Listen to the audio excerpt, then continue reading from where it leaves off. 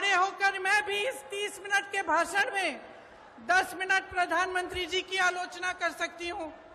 10 minute के लिए मैं ये कह सकती हूँ कि कितनी घोषणाएँ, नकली घोषणाएँ की, कितने घोटाले किए, कितने नाटक करते हैं शिवराज जी।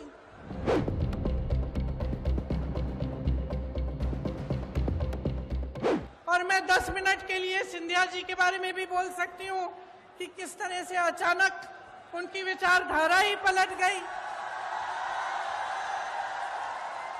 लेकिन आज मैं यहाँ आपका ध्यान भटकाने के लिए नहीं आई हूँ।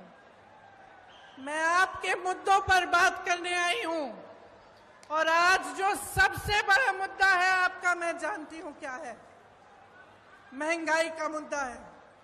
सबसे बड़ा मुद्दा आज महँगाई है। और मैं सिर्फ़ सब्ज़ी, फल आटा, गेहूँ इस सब की मैं महँगाई नहीं कह रही हूँ।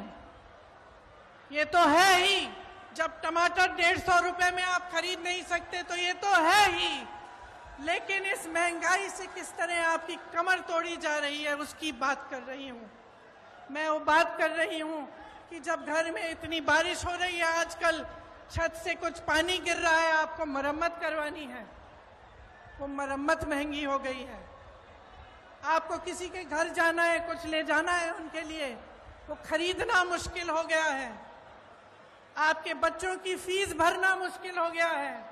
इतनी बारिश में जो बच्चे स्कूल पाठशाला तक जा रहे हैं, उनके लिए छाता खरीदना मुश्किल हो गया है।